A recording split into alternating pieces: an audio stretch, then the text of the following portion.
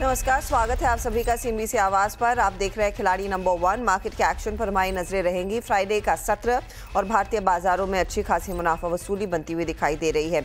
Nifty आपकी screen पर पहले लेकर आएँगे, जो 250 पॉइंट नीचे है और एक बहुत ही क्रूशल लेवल के नीचे इस समय ट्रेड करता हुआ, चौबीस का साथ। ध्यान रखिएगा, निफ्टी ने छोड़ दिया है। ये सेंसेक्स आपके सामने आता हुआ, जहाँ पर 630 अंकों की गिरावट देखने को मिल रही है। निफ्टी भी स्क्रीन पर लेकर आइएगा। निफ्टी बैंक की भी हालत नासाज ही दिखाई दे रही है। 980 अंकों का नुकसान यहाँ पर और साथ ही साथ मिड कैप लहू लुहान है। मैं लहू लुहान इसीलिए कह रही हूँ क्योंकि इस समय अगर आप गौर करें 1300 पॉइंट से ज़्यादा का नॉक और एडवांस डिक्लाइन रेशियो का हाल अगर आप देखेंगे तो ये वन इज़ टू ट्वेल्व है। यानी कि अगर तेरह स्टॉक्स ट्रेड हो रहे हैं उसमें से 12 स्टॉक्स है जो मंदी की गिरफ्त में इस समय कारोबार कर रहे हैं। ये है स्थिति इस मार्केट की। प्रेशर चौतरफा है अनडाउटेडली लेकिन बैंक्स और फाइनेंशियल सबसे ज़्यादा दबाव में आते हुए दिखाई दिए हैं। कुछ चुनिंदा बैंक्स को छोड़कर इंडसिंड बैंक खराब नंबर्स पर स्टॉक पिटा है। फिर L N T M N M और रिलायंस में भी आज हम देख रहे हैं कुछ कुछ मुनाफा वसूली हावी। आईटीसी थोड़ा सा रेजिलियंट है क्योंकि डिसेंट परफॉर्मेंस था, लेकिन एक्सिस नंबर से पहले सनफार्मा कोटा के दूसरे काउंटर्स हैं, जहाँ से कुछ कुछ सपोर्ट बनता हुआ दिखाई दिया है। लेकिन मूड बिगड़ा हुआ है और खासी गिरावट के साथ मार्केट इस समय ट्रेड करता हुआ। अब ऐसे में आपकी क्या रणनीति होनी चाहिए? हमारे जानकारों के क्या रिटर्न्स बने हैं? वो सब पहले आपकी स्क्रीन पर लेकर आएँगे। देखिएगा स्थिति क्या उभर कर आ रही है हमारे तीनों ही जानकारों के बीच। जहाँ पंकज 10 परसेंट के रिटर्न्स होल्ड कर पाए हैं मधु डेढ़ परसेंट के Om minus zero point nine percent पर हैं। तो ये है आपके लिए स्थिति। चलिए अब आ, क्या सिचुएशन रहनी चाहिए मार्केट में पोजीशन कैसी रहनी चाहिए आ, उसकी बात करते हैं। पंकज कैसे पढ़ेंगे? क्योंकि ये फ्राइडे का सेशन भी मार्केट बिखर रहा है। And good morning everyone on the panel Harshada ji day first से मैं एक ही बात कह रहा हूँ कि निफ्टी अभी स्कैल्पिंग जोन में है और uh, मतलब सेलॉन राइज वाला ही मूड रहेगा। थ्रू आउट द वीक हम लोगों ने देखा कि निफ्टी कंसिस्टेंटली डिटोरिएट होते हुए हमको नज़र आया है। अगर हम एफ़ के स्टैट्स देखते हैं तो बहुत ब्रूटल सेलिंग देखने मिली है और ये सेलिंग हो सकता है कि अभी और भी ज़्यादा गहराई गहराई में जा सकती है। मेरे ख्याल से निफ्टी के अंदर अभी यहाँ से और एक हज़ार का डिसेंट कट यहाँ से नज़र आ रहा है। तो मेरे ख्याल से अभी भी अगर कोई भी पुल बैक मिलता है तो डेफिनेटली सेल करना चाहिए। डेफिनेटली जैसे आप आपकी कमेंट्री में आप बता रहे थे कि चौबीस दो सौ के नीचे आया बहुत क्रूशियल लेवल है। अगर ये तेईस हज़ार नौ सौ पचास की लेवल और भी सिग्निफिकेंटली अगर क्रॉस कर देता है तो within a take twenty three thousand four hundred के नंबर्स uh, हम लोगों को चार्ट्स पे देखने मिल सकते हैं। ओके फोर हंड्रेड तक के लेवल्स देखने को मिल सकते हैं। ऐसी स्थिति में मधु क्या फिर शॉर्ट साइड के सौदे आप अग्रेसिवली लेना शुरू करें? जी, बिल्कुल। जैसा कि अगर दर्शक कंफर्टेबल है और बहुत ही ज़्यादा उनको ओके है सेल साइड पे करना तो ये अपॉर्चुनिटी बहुत अच्छी बन सकती है सेल साइड पर रह करके आप पैसा कमाने की। क्योंकि जैसा पंकज जी ने भी बोला, निफ्टी बुरी तरीके से नीचे की तरफ़ ही है, काफ़ी वीक है। इस पूरे हफ़्ते ही इनफैक्ट चौबीस चार सौ के लेवल्स पर भी अच्छी वाली हमें कॉल राइटिंग देखने को मिली है। बैंक निफ्टी की भी बात करें तो वहाँ पे भी इक्यावन हज़ार का जो सपोर्ट है, वो एब्सोल्युटली ब्रीच कर दिया है और जहाँ नेक्स्ट सपोर्ट देखा जा सकता है, वो काफ़ी नीचे, पचास हज़ार दो सौ के आसपास देखा जा सकता है। तो कहने का मतलब ये है कि दर्शकों को इन्वेस्टर्स को डेफिनेटली बचाव में रहना चाहिए। थोड़े कुछ सेक्टर स्पेसिफिक अगर आप बात करें तो फार्मा में थोड़ी सी आप एक ठीक लग रहा है, ऐसा बोल सकते हैं उसके कुछ counters but all in all cautious रहिए और सेल साइड पर ही रहिए। ओके कॉशियस रहिए सेल साइड पर रहिए। ओम आपकी अप्रोच क्या रहेगी? क्योंकि देखिए जहाँ पर थोड़ी बहुत आप सुरक्षा की आ, सुरक्षा कवच ढूंढते हैं वो भी टेस्ट होने लगे हैं इस तरह के मार्केट में। जी गुड मॉर्निंग यहाँ पे जैसा कि हमने सभी ने बात की कि निफ्टी और बैंक निफ्टी दोनों ही स्क्यूड मतलब ट्रेंड अब यहाँ से चेंज हो चुका है। अगर हम ब्रॉडर रेंज की बात करें तो यहाँ पे अभी तक क्या था कि जो सेल साइड जो आ रहे थे वो एब्जॉर्ब हो रहे थे बट यहाँ पे ट्रेंड अब यहाँ से रिवर्सल हमें बिल्कुल यहाँ पे नैरोड और यहाँ पे स्क्वीड हमें देखने को मिल रहा है यहाँ पे। और निफ्टी और बैंक निफ्टी दोनों एक क्रूशियल लेवल पे है, यहाँ पे चौबीस हज़ार के एज पे है और बैंक निफ्टी पचास हज़ार के एज पे है। तो एक दोनों एक अहम रोल इम्पोर्टेंट रोल है इम्पोर्टेंट लेवल्स है चौबीस हज़ार के नीचे। ऑब्वियसली यहाँ पे बायर्स वहाँ पे पार्टिसिपेट उतना करना पसंद नहीं करेंगे वहीं पे। और फ़िलहाल के लिए इन्वेस्टर को अभी यहाँ पे अपने पोर्टफोलियो को भी एक बार रिव्यू करना चाहिए। साथ ही साथ यहाँ पे जो पिछले लास्ट दो से तीन महीने में जो पोस्टर बॉय बने हैं इनफैक्ट जो स्मॉल कैप स्मॉल कैप और डिफेंस कुछ एक ऐसे सेक्टर्स थे जहाँ पे, जहाँ उन्होंने काफ़ी अच्छा रिटर्न भी दिया था बट उनका ट्रेंड अब कम्प्लीटली चेंज होता हुआ दिखाई दे रहा है। तो ऐसे स्टॉक से हमें स्पेसिफिकली बचना है। तो ट्रेड्स लेना शुरू करते हैं। ओम पहले आपका पोर्टफोलियो हम स्क्रीन पर लेकर आ रहे हैं और मैं नोटिस कर रही हूँ, आपने इनफैक्ट दो ट्रेड से एग्जिट किया। पेटीएम में अनफॉर्चुनेटली स्टॉप लॉस ट्रिगर हुआ। नया ट्रेड क्या रहेगा? सेल साइड में रहेगा, यहाँ पे एच का। और यहाँ पे भी फ्यूचर का भाव चल रहा है approx four one three zero के अप्रॉक्स यहाँ पे इसका स्टॉप लॉस रखेंगे फोर टू टू ज़ीरो का यहाँ पे। और टारगेट रहेगा three nine double zero three nine double zero के लिए H L Hindustan Aeronautics short करने की राय फ़िलहाल दी गई है। चलिए अब मधु का पोर्टफोलियो लेकर आते हैं। विप्रो के शॉर्ट ट्रेड को ये अभी भी होल्ड कर रही हैं। ग्रीन प्लाई जो तेज़ी वाला ट्रेड था वहाँ पर स्टॉप लॉस ट्रिगर हुआ। मधु नया स्टॉक मेरा नया स्टॉक रहेगा सेल साइड पे ब्रिटानिया का। uh, बात करें अगर उसके टेक्निकल्स की तो एक लॉन्ग टर्म सपोर्ट ब्रीच हुआ है कल 5700 का। तो उम्मीद है कि इसका जो टारगेट है 5320 का with the stop loss of 5777 ये मेंटेन होना चाहिए। बात करें इसकी अगर निफ्टी के कंपैरिजन में तो भी ये काफ़ी डाउन है। एफएमसीजी सेक्टर की बात करें तो वो भी काफ़ी डाउन है। तो ऑल इन ऑल इसमें एक अच्छा सेल साइड का ट्रेड बन जाए का ट्रेड ब्रिटानिया में 5320 के लिए शॉर्ट करने की सलाह 5777 के आसपास आप स्टॉप लॉस लगाएँगे। मंदी का एक और ट्रेड पंकज, आपके पोर्टफोलियो में जो भी ट्रेड्स थे, वो कल आपने निपटा लिए। अंबर अच्छा खासा पैसा कमा कर गया आपके लिए। एग्जिट किया आपने हुडको से। बताइए आज का ट्रेड हर्षदा जी बजाज ऑटो में सेल करने की सलाह रहेगी दस हज़ार पच्चीस की रेंज में अभी फ़िलहाल ये ट्रेड कर रहा है। देखिए, ये बहुत क्रूशियल लेवल है। दस हज़ार की मेक और ब्रेक लेवल है, लेकिन मार्केट का जो सिनारियो देख रहे हैं और, जो ड्रैगर्स हैं ऑटो सेक्टर ये बहुत बड़ा ड्रैगिंग पॉइंट की तरफ़ है।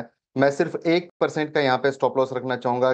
दस हज़ार एक सौ पच्चीस रुपए का यहाँ पे स्टॉप लॉस रहेगा और टारगेट रहेगा नौ हज़ार सात सौ पचास। 750 का टारगेट और यहाँ पर तेज़ी की पोजीशन लेकर चले। आ, ये फ़िलहाल 10,125 के आसपास स्टॉप लॉस लगाएँगे लेकिन एक और शॉर्ट साइड का ट्रेड आपकी स्क्रीन पर है। चले काम करते लेंगे एक ब्रेक ब्रेक के बाद देखते हैं हमारे जानकार इस समय नया ट्रेड देंगे या फिर कुछ टाइम लेना चाहेंगे इस मार्केट को थोड़ा सा सेटल होने के लिए। जब लौटेंगे जेएसडब्ल्यू एनर्जी के मैनेजमेंट से भी होगी बातचीत सेकेंड क्वार्टर के नंबर्स और आगे के आउटलुक पर।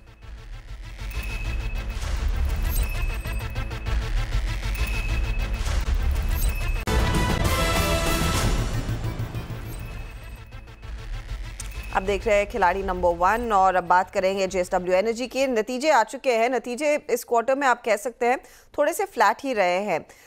आई ग्रोथ एकदम सपाट है। एबिटा में करीब 10 परसेंट तक का दबाव देखने को मिला। मार्जिन घटकर चौवन परसेंट के आसपास आए हैं। प्रॉफिटेबिलिटी एकदम फ्लैट रही। एग्जैक्टली exactly क्या हुआ इस क्वार्टर में? हमारे साथ कंपनी के एमडी और सीईओ शरद महेंद्र है। शरद जी, जैसे मैं मेंशन कर ही रही थी कि नंबर्स थोड़े से म्यूटेड है। कोई खास वजह इसकी? इसी इसमें अगर हम ये देखें कि ये एक रेगुलेटेड बिज़नेस है, और जैसा हमने देखा कि हमारा जनरेशन ग्रोथ है चौदह परसेंट का एज कंपेयर टू जो कंट्री में हमने विटनेस किया है फाइव पॉइंट एट परसेंट का ग्रोथ इसमें हाइड्रो एसिड जो हमारा एक है, ये रेगुलेटेड बिज़नेस है. और after twelve years depreciation reduces from 5.2 to 1.3 percent. वो हमने देखा है, जो होना था, ये वन टाइम फिनोमिना था, जो ट्रू अप में होता है. जिसकी वजह से रेवेन्यू और एबिटा दोनों में इंपैक्ट आता है। सो so, ये एक नोन फिनोमिना था ऐसा कोई नथिंग अनएक्सपेक्टेड हमारा जनरेशन इनफैक्ट हाइड्रो में कंट्री में जो जनरेशन ग्रोथ है वो ऑलमोस्ट करीब साढ़े चार परसेंट का हुआ है। बट हमारा hydro generation growth is more than twenty one percent इक्कीस परसेंट का ग्रोथ हमारा हाइड्रो जनरेशन में है। तो ये एक it is only because of the regulated asset और जो इसमें ट्वेल्व थर्टीन ईयर से चेंज इन डेप्रिसिएशन था जिसका impact revenue as well as EBITDA दोनों पे आता है। Uh, मैं फिर आपसे एक चीज़ और समझना चाहूँगी। uh, मैं आपके मर्चेंट टैरिफ स्प्रेड्स देख रही थी उसमें भी कुछ कमी देखने को मिली है। uh, तो यहाँ पर क्या सिचुएशन कोई ये क्या बस इस क्वार्टर के लिए है या फिर कुछ इम्प्रूवमेंट आगे नज़र आ सकती है? सी मर्चेंट में अगर हम देखें कि डिमांड ग्रोथ अच्छी रही है, करीब 27 परसेंट की ग्रोथ रही है बट टैरिफ्स में ऑलमोस्ट 30 परसेंट रिडक्शन हुआ है टैरिफ जो लास्ट ईयर इस क्वार्टर में क्वार्टर टू में पाँच रुपए नब्बे पैसे जो टैरिफ था, वो फोर रुपीज़ फिफ्टी पैसा, चार रुपए पचास पैसे का टैरिफ एवरेज मर्चेंट टैरिफ हुआ है इस क्वार्टर में। और कोल प्राइसेस अगर हम देखें स्टेबल रहे हैं, जिसकी वजह से स्प्रेड्स में डेफिनेटली प्रेशर आया है इन जनरल बट एक फिनोमिना ये देखना होगा कि लास्ट ईयर हमारे केस में इम्पैक्ट लिमिटेड रहा है, इतना बड़ा इम्पैक्ट नहीं रहा है क्योंकि हमारा कुछ पोर्शन डोमेस्टिक कोल लिंक्ड जो प्लांट हमारा इंड भारत का जो यूनिट वन लास्ट ईयर नहीं था इस समय पे, वो कमीशन हो गया था तो उसने जो हमको डोमेस्टिक कोल पे स्प्रेड दिया तो उसकी वजह से जो हमारा स्प्रेड है, वो as compared to what has been witnessed by industry उसके कंपैरिजन में बेटर रहा है। ओके सर डिमांड क्योंकि आपने मेंशन की समर में हमने पीक डिमांड देखी है और उसको आपने बखूबी एंजॉय किया। लेकिन इस क्वार्टर में आई थिंक मानसून का भी इम्पैक्ट रहा और आगे of course winter season demand रहेगी। तो वो कितनी पिकअप हो सकती है? देखिए, इस बार हमको क्वार्टर टू एक लास्ट ईयर से जब हम कंपेयर करते हैं क्वार्टर एच वन को भी कंपेयर करें तो पिछले साल के कंपैरिजन में दो फिनोमिनाज हैं जिसकी वजह से अवेलेबिलिटी इंप्रूव हुई सप्लाई की। वो एक तो था कि हाइड्रो जनरेशन लास्ट ईयर अच्छा नहीं था, जो इस बार काफ़ी बेटर रहा है काफ़ी। तो वो एक पावर अवेलेबिलिटी मानसून में थी। प्लस जो हमारे रिन्यूएबल के एसेट्स पिछले एक साल में कमीशन हुए हैं कैपेसिटी जो लास्ट ईयर की रिकॉर्ड कैपेसिटी कमीशन हुई थी तो वो भी एडिशनल कैपेसिटी अवेलेबल थी। तो उसकी वजह से सप्लाई साइड में अवेलेबिलिटी बेटर थी as compared to last year उसके बाद में एक्सटेंडेड मॉनसून जिस तरह से हुआ है उसकी वजह से भी डिमांड में इम्पैक्ट आया था। बट हम एक ये समझते हैं कि second half of the year जैसा हम जानते हैं कि manufacturing activities and other normally improve infrastructure construction तो डिमांड हमको वी आर कॉन्फिडेंट कि विल कम बैक इस क्वार्टर में जो डिमांड म्यूटेड रहा है उसमें एक चीज़ ज़रूर से देखना है कि खाली अबाउट 1.6 परसेंट का डिमांड ग्रोथ हमने देखा है क्वार्टर टू में बट okay. हमको ये रिमेंबर करना होगा कि लास्ट ईयर क्वार्टर टू में 11.2 परसेंट का ग्रोथ था तो एक लार्जर right. बेस पे ये 1.6 परसेंट का ग्रोथ हुआ है which is in itself a positive sign so going forward हम एक्सपेक्ट करते हैं कि from quarter three things will definitely in terms of demand will be better than what we have witnessed अभी quarter two में जो okay third quarter onwards demand में और pickup और उसका रिफ्लेक्शन नंबर्स में आएगा। जनरेशन uh, की स्थिति क्या रहेगी अगर उस पर भी एक अपडेट हमारे साथ शेयर कर सके? सी क्वार्टर टू तक अगर हम देखें तो हमारी एच uh, वन में डिमांड ग्रोथ जो है हमारा जनरेशन ग्रोथ चौदह परसेंट का रहा है।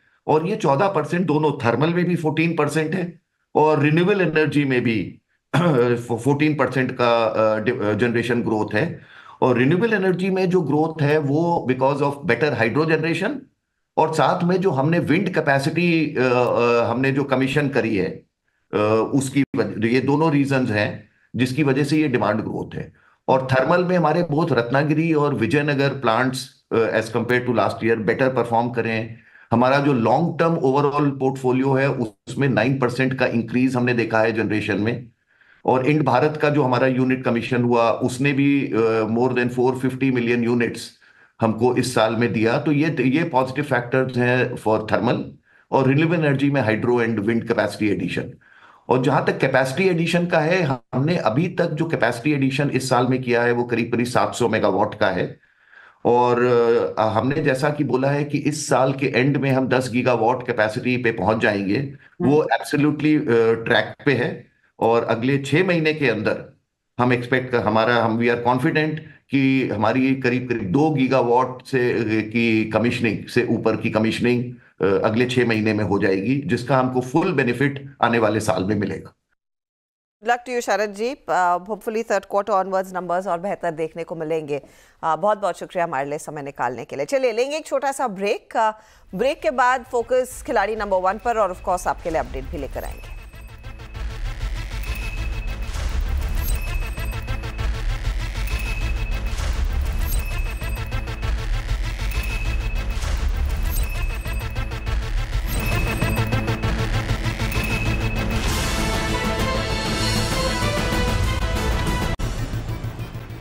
आप देख रहे हैं खिलाड़ी नंबर वन और अब पंकज के पास मेरे ख्याल में बजाज ऑटो के सेल कॉल के साथ एक और ट्रेड है। पंकज, क्या जोड़ रहे हैं आप?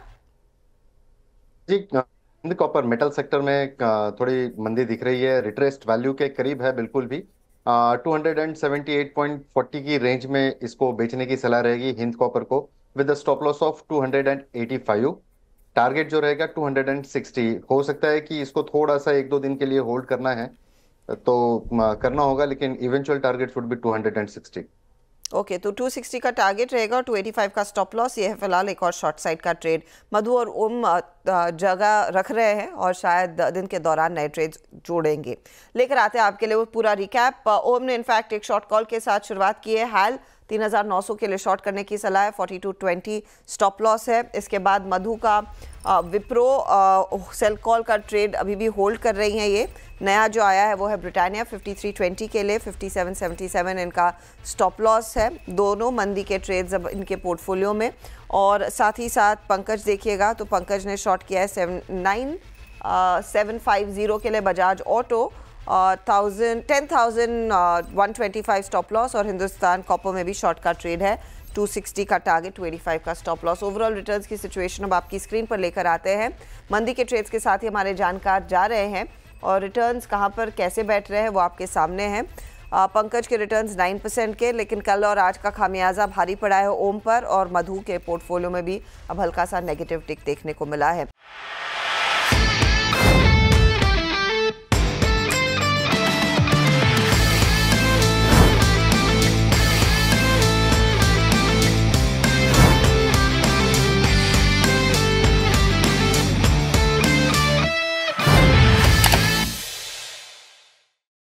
बता दें कि मनी कंट्रोल पर दिए गए विचार एक्सपर्ट्स के अपने निजी विचार होते हैं। वेबसाइट या मैनेजमेंट इसके लिए उत्तरदायी नहीं है। यूज़र्स को मनी कंट्रोल की सलाह है कि कोई भी निवेश निर्णय लेने से पहले सर्टिफाइड एक्सपर्ट की सलाह लें।